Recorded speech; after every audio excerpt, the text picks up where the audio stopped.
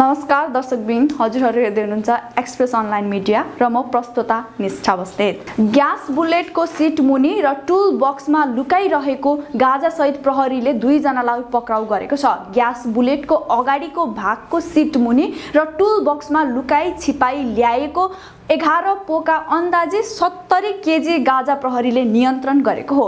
मङ्गलबार दिउँसो एक बजे चितवनको राप्ती नगरपालिकाको लोथर स्थितमा खैरहनी पर्साबाट पूर्व जाँदै गरेको एमएच चार आठ एवाई चार सात शून्य नौ भारतीय नम्बरको ग्यास बुलेटको खाली गाडी प्रहरीको नियन्त्रणमा छ। प्रहरीले बुलेट चालक भारत झारखण्ड कोडमा बस्ने पैँतिस वर्षीय मनोज कुमार पासवान र मकवानपुर मनहनी गाउँपालिका सातका पैँतालिस वर्षीय राजु वाइबालाई नियन्त्रणमा लिएको प्रहरीले जानकारी दिएको छ।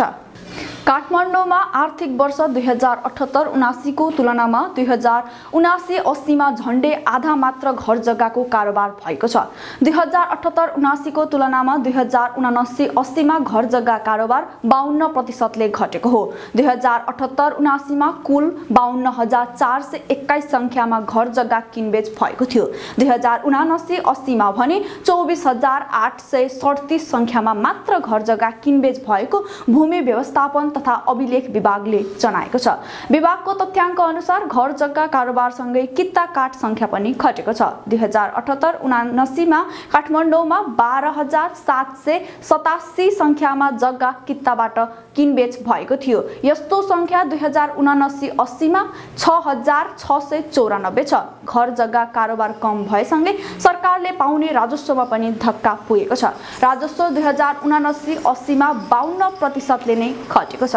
दुई हजार अठहत्तर उनासीमा काठमाडौँमा घर जग्गा किनबेच बापत सरकारलाई उन्नाइस अर्ब पैँसठी करोड रुपियाँ आम्दानी भएको थियो। आर्थिक वर्ष दुई हजार उनासी अस्सीमा नौ अर्ब अठाइस करोड रुपियाँ मात्र आम्दानी भएको छ। आर्थिक वर्ष दुई हजार उनासी अस्सीको सुरुवाती चरणदेखि नै घर जग्गा कारोबार सुस्ताएको थियो।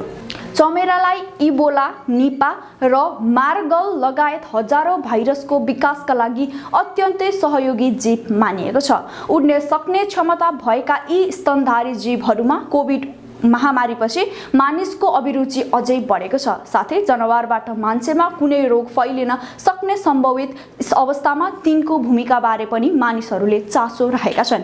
यसै सन्दर्भमा घानामा एउटा अनुसन्धान सुरु भएको छ।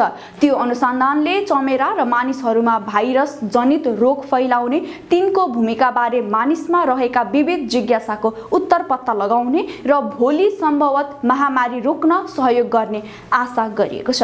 प्रधानमन्त्री मन्त्री पुष्पकमल दाहाल प्रचण्ड इटली जाने भएका छन्। सरकारी प्रवक्ता रेखा शर्माले संयुक्त राष्ट्र सङ्घको खाद्य तथा कृषि सङ्गठनको मुख्यालय इटलीमा आयोजना हुने युनाइटेड नेसन्स फुड सिस्टम दुई हजार तेइस स्कटिङ मोमेन्टमा सहभागी हुन प्रधानमन्त्री प्रचण्ड नेतृत्वको प्रतिनिधि मण्डल जाने भएको हो।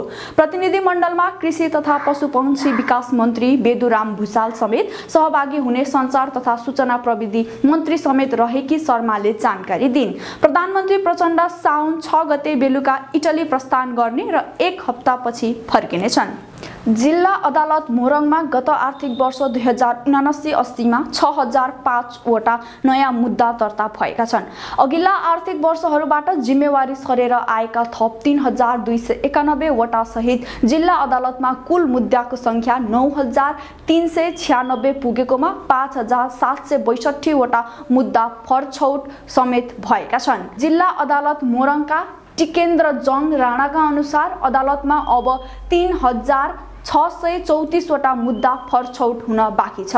बाँकी रहेका मुद्दाहरूमध्ये दुई वर्ष नागेका चौधवटा रहेका छन्। त्यसै गरी अठार महिना नागेका मुद्दाको सङ्ख्या एक सय अठासी छन् भने एक वर्ष अवधिका चार सय सोह्रवटा मुद्दा छन्। गत आर्थिक वर्षमै दर्ता भएका मुद्दाहरूमध्ये एक वर्षभित्रको मुद्दा सङ्ख्या भने तिन हजार सत्ताइसवटा रहेको स्रोतेदार राणाले बताए। अदालतको मुद्दा फरछौट लक्ष्यको तुलनामा भने चार एक सय चार दशमलव एकसठी प्रतिशत मुद्दाको फरछौट गरेको हो। त्यसैले लग लगतको तुलनामा एकसठी दशमलव तिन दुई प्रतिशत मुद्दा फरछौट भएको जनाइएको छ। जिल्ला अदालत मोरङमा न्यायाधीशको सङ्ख्यालाई आधार मान्दा पनि न्यायाधीश मुद्दा सङ्ख्या नौ सय उन्चालिस दशमलव छवटा परेका छन्। जसमध्ये पनि न्यायाधीश फरछौट दर भने पाँच सय पचहत्तर दशमलव दुईवटा मुद्दा हुन जाने जनाइएको छ।